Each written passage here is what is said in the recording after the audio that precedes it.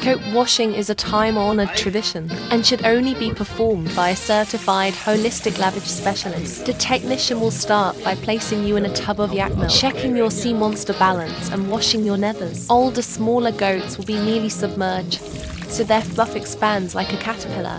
Return mantis sticks to a upright position upon eggs, then violently wring your noodle.